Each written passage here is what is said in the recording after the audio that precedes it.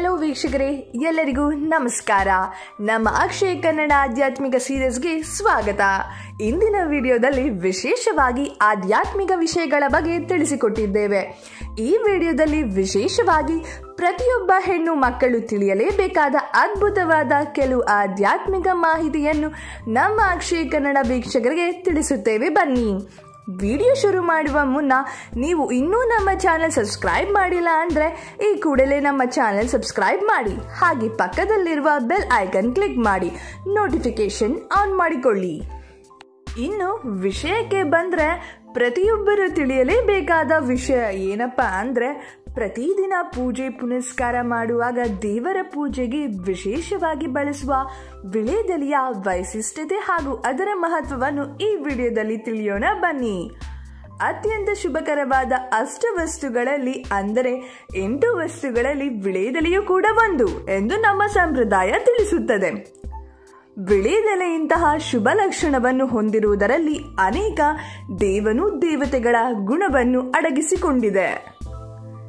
ವಿಶೇಷವಾಗಿ ವಿಳೆದೆಲೆ ಮೊದಲಲ್ಲಿ ಲಕ್ಷ್ಮೀದೇವಿ ಮಧ್ಯಭಾಗದಲ್ಲಿ ಸರಸ್ವತಿ ಹಾಗೂ ಕೊನೆಯ ಭಾಗದಲ್ಲಿ ಶ್ರೇಷ್ಠ ಭಗವತಿ ನೆಲೆಸಿರುತ್ತಾರೆ ಅಂತ ಒಂದು ನಂಬಿಕೆ. ಈ ಎಲೆಯ ಎಡಭಾಗದಲ್ಲಿ ಪಾರ್ವತಿ ಮಾತೆ, ಬಲಭಾಗದಲ್ಲಿ ಭೂದೇವಿ, ಮುಂದಿನ ಭಾಗದಲ್ಲಿ ಶಿವನು ಎಲೆಯ ಪೂರ್ತಿಯಾಗಿ ಮೇಲ್ಭಾಗದಲ್ಲಿ ವಿಷ್ಣು ದೇವರು ತಮ್ಮ ತಮ್ಮ ಸ್ಥಾನಗಳನ್ನು ಹೊಂದಿರುತ್ತಾರೆ ಅಂತ ಒಂದು ನಂಬಿಕೆ ಇದೆ. ಈ ದೇವತೆಗಳಲ್ಲದೆ ಶುಕ್ರಾನು, ಇಂದ್ರಾನು, ಸೂರ್ಯನು ಹಾಗೂ ಕಾಮಧೇನು ಸಹ ಬಿಳಿದಲಿಯ ಮೇಲೆ ವಿವಿಧ ಭಾಗಗಳಲ್ಲಿ ಅವರವರ ಸ್ಥಾನಗಳಲ್ಲಿ ಇರುವರೆಂದು ನಮ್ಮ ಶಾಸ್ತ್ರಗಳು ಹೇಳುತ್ತಿವೆ. ವಾಸ್ತವವಾಗಿ ಈ ವಿವಿಧ ದೇವತೆಗಳು ವಿಳೆದೆಲೆಯ ಅನೇಕ ಶುಭ ಗುಣಗಳ ತತ್ವಗಳನ್ನು ವ್ಯಕ್ತಪಡಿಸುತ್ತಿದ್ದಾರೆ. ಈ ಕಾರಣಗಳಿಂದಲೇ ವಿಳೆದೆಲೆಯ ವಿನಿಯೋಗವನ್ನು ವಿವಿಧ ರೀತಿಯ ವಿಧಗಳಾಗಿ ಉಪಯೋಗಿಸುವ ಹಾಗೆ ನಮ್ಮ ಹಿರಿಯರು ಶಾಸ್ತ್ರಗಳನ್ನು ರಚಿಸಿರುವರು.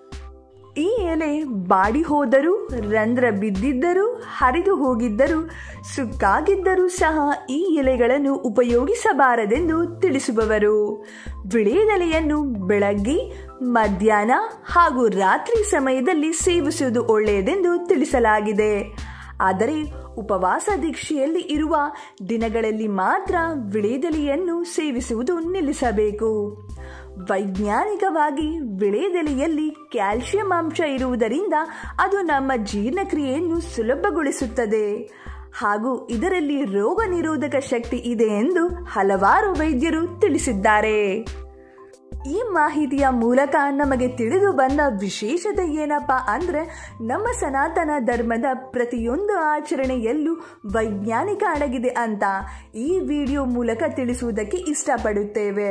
ಸ್ನೇಹಿತರೆ, ನಾವು ಕೊಟ್ಟ ಈ ವಿಶೇಷ ದೈವಿಕ ಮಾಹಿತಿ ಇಷ್ಟವಾದರೆ ಲೈಕ್ ಮಾಡಿ, ಶೇರ್ ಮಾಡಿ, ಸಬ್ಸ್ಕ್ರೈಬ್ ಮಾಡಿ. ಮತ್ತೊಂದು ದೈವಿಕ ಮಾಹಿತಿ ಜೊತೆ ಸಿಗ್ತೀನಿ. ಅಲ್ಲಿವರೆಗೂ ನಮಸ್ಕಾರ.